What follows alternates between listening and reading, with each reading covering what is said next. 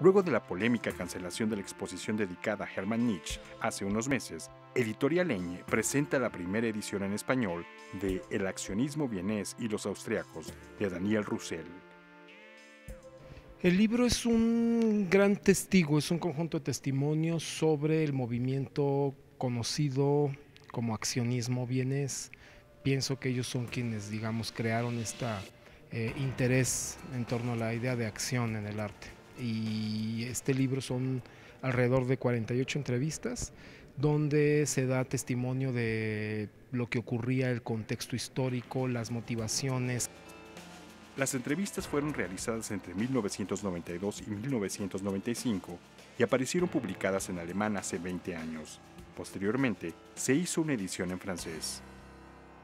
Empezar a los tres accionistas vivos, que son Gunther Bruce, Otto Mühl y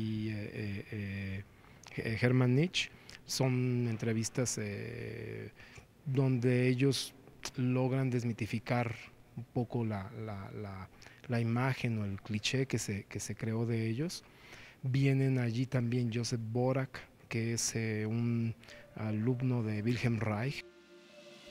El accionismo vienés y los austriacos se publica en ediciones Eñe con el apoyo de la Cancillería Federal de Austria y el Fondo Cultural de Austria en México. Noticias 22, Víctor Gaspar.